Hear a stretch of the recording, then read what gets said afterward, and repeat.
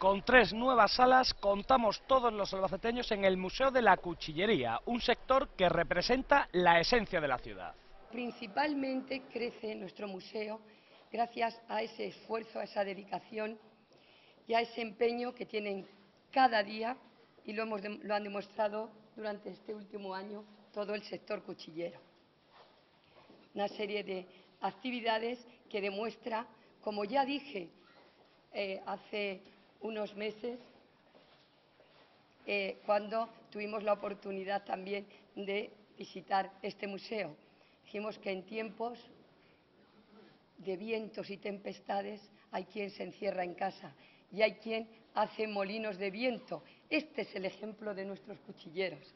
Pero también se han entregado los premios de la novena edición del concurso de fotografía sobre la cuchillería, donde han participado 226 instantáneas pertenecientes a 65 fotógrafos procedentes de La Rioja, Madrid, Cantabria, Valencia, Murcia e incluso México.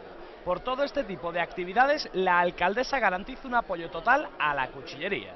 Contar con el apoyo tanto de la Junta de Comunidades, os envío un saludo de María Dolores Cospedal, como de la Diputación. Tenemos, aquí contamos con la presencia del delegado y del consejero en cuanto a ese apoyo de la Junta, de la Diputación y, por supuesto, del Ayuntamiento.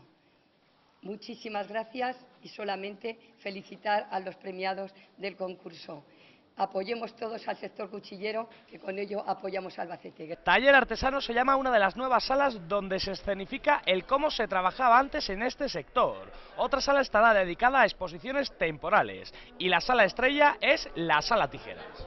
Desde esa tijera que hemos visto de escribanía,